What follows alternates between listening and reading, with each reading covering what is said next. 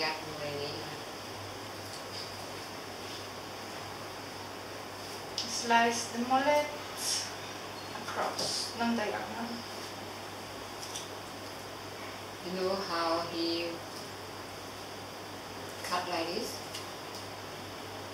He put some garlic, turmeric, everything. inside the cuts Yes. very nice